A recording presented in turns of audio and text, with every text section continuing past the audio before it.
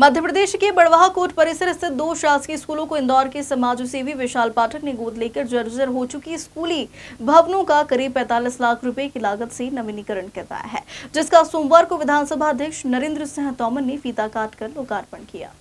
इस अवसर पर नरेंद्र सिंह तोमर ने कहा कि देश की अर्थव्यवस्था को संचालित करने में समाज सेवियों की महत्वपूर्ण भूमिका रहती है।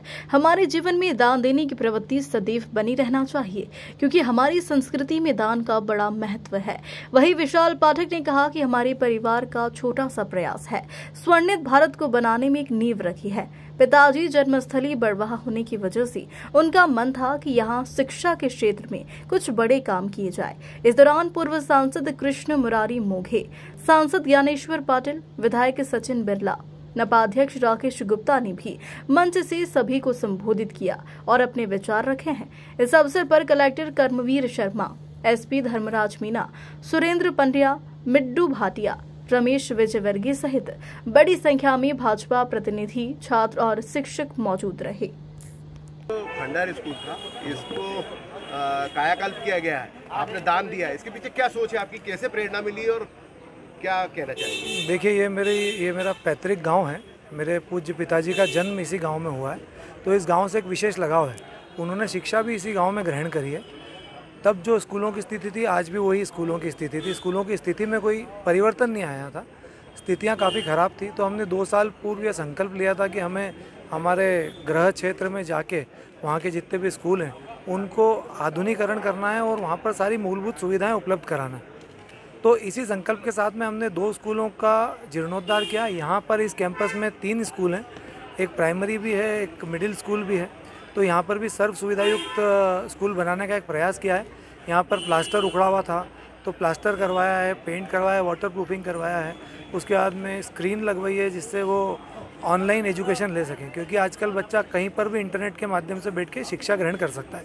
तो ये एक सोच थी कि यहाँ पर बच्चों के अंदर शिक्षा और संस्कार, जो हमारा मूलभूत मंत्र है वो शिक्षा और संस्कार यहाँ पर बच्चों में डेवलप हो जिससे बढ़वा का विकास हो और हम स्वर्णिम भारत की नींव रख सकें। कितने रुपए खर्च करें हैं तीनों स्कूलों ये स्कूल ये वाले कैंपस में जिसमें हम अभी खड़े हैं यहाँ कार्यक्रम था यहाँ पर 45 लाख रुपए खर्च हुआ है। और उसके पहले जो टावर वेडी में जिसका उद्घाटन आदरणीय जगदीश देवड़ा जी ने किया था वहाँ अट्ठारह लाख रुपये खर्च क्या लोगों से क्या अपील करना चाहेंगे? क्या लोगों को संदेश देना चाहेंगे? लोगों से मैं सिर्फ़ यही संकेत देना चाहूँगा कि बड़वा क्षेत्र के जितने भी बुद्धिजीवी वर्ग के लोग हैं वरिष्ठ लोग हैं समाज सेवी हैं वो कृपया स्कूल में आएँ। आज स्कूल सर सुविधा युक्त हो गया है। इसके मेंटेनेंस की ज़िम्मेदारी वो लोग लें और यहाँ पर आके बच्चों को पढ़ाने का दायित्व भी उठाएँ। प्रेरणा कैसे मिली थी प्रेरणा मेरे पूज्य पिताजी से उनका काफ़ी मन था। तो और आदरणीय कृष्ण मुरारी मोगे जी जो हैं उनका भी उद्देश्य ये था कि छात्रों के बीच में शिक्षा का संचार। तो आदरणीय मोगा जी की प्रेरणा से और मेरे पूज्य पिताजी की प्रेरणा से। क्या नाम है आपका विशाल पाठक। खरगोन ज़िले के बड़वा में एक अनुकरणीय पहल हुई है विशेष रूप से शिक्षा के क्षेत्र में जो सरकारी स्कूल हो उसका जीर्णोद्धार किया जा रहा है। और विशेष रूप से आपकी पहल पे ये पहल हो रही है क्या कहना चाहेंगे? देखिए मेरी मान्यता ऐसी है कि शिक्षा का क्षेत्र ऐसा है कि उसमें समाज ने सहभागी होना चाहिए इन्वॉल्व होना चाहिए। और इसलिए उस दिशा में मैंने इंदौर में जो विशाल पाठक करके हैं उनसे चर्चा की थी। और उन्होंने इस बात की स्वीकृति दी और इसलिए पहला विद्यालय ये कुछ समय पूर्व लोकार्पित हो चुका था, दूसरे विद्यालय का लोकार्पण आज हुआ और केवल ये स्कूल की बिल्डिंग बनाने तक सीमित नहीं है। इसके बाद में हम प्रयास करेंगे कि वहाँ पढ़ाई भी अच्छी हो।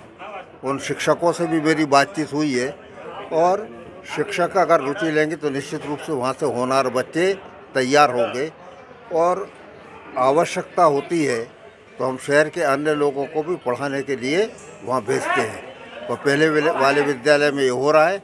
इसमें भी आगे हमारा, हमारी योजना यही है कि इस ढंग से सरकारी स्कूल भी, वो सरकारी न रहते हुए असरकारी हो, उस प्रयत्न का आज ये शुभारंभ था। माननीय हमारे विधानसभा के अध्यक्ष नरेंद्र सिंह जी तोमर ने उसमें सहभाग किया। मैं उनको भी बधाई देता हूँ और जनता से मैंने अपील की है कि इस शिक्षा के क्षेत्र में कुछ न कुछ हमारा आगे भी योगदान बना रहे, क्योंकि बहुत बड़ा आदिवासी क्षेत्र है। उसमें अगर इस ढंग के काम होगा तो निश्चित रूप से उनके जीवन में भी परिवर्तन आएगा। इस प्रकार से ये शिक्षा के स्वास्थ्य के क्षेत्र में सुविधाएँ उपलब्ध हों, इसका समाज को भी आगे आना चाहिए। मुझे प्रसन्नता है कि पाठक परिवार ने आगे बढ़कर इस क्षेत्र में तीन स्कूलों का जीर्णोद्धार किया, अपनी तरफ़ से राशि का व्यय किया। आज वे तीनों विद्यालय बहुत अच्छी अवस्था में हैं। भवन ठीक होता है तो वातावरण ठीक होता है। वातावरण ठीक होता है तो बच्चों को अध्ययन करने में और सुविधा होती है। ये सुविधा और बढ़े तो पाठक परिवार से बाकी लोगों ने भी प्रेरणा लेनी चाहिए। अगर कुछ स्कूल ऐसे क्षेत्र में हैं तो उनका भी जीर्णोद्धार हो, यह मैं समझता हूँ, समय की आवश्यकता है। मैं इस अवसर पर पाठक परिवार के भाव को अभिनंदन करता हूँ। ये मध्य प्रदेश में जो विपक्ष की जो भूमिका होना चाहिए, आप क्या मानना सही है क्या? सही है कि विपक्ष की जो भूमिका रहनी चाहिए, वो अपनी भूमिका पे खड़े उतर पा रहे हैं? देखिए दरअसल क्या है कि विपक्ष और पक्ष ये दोनों लोकतंत्र के दो पाए हैं। और दोनों को अपनी अपनी भूमिका का निर्वहन करना है। पक्ष के लोग अपनी भूमिका निर्वहन कर रहे हैं विपक्ष के लोग अपनी भूमिका का निर्वहन सर सर मेरा ये था जिस प्रकार से विचार मुद्दे आते हैं तो अ, पिछले जो कुछ प्रवृत्ति जो डेवलप हो रही विरोध करने की प्रवृत्ति डेवलप हो रही। है, उसको लेकर आप क्या मानते हैं? देखिए प्रतिपक्ष में जो केंद्र के लोग सामान्य तौर पर वो जिस प्रकार की बयानबाजी करते हैं उससे लोकतंत्र को और देश को दोनों को आघात लगता है। कांग्रेस के नेतृत्व को इससे बाज आना चाहिए।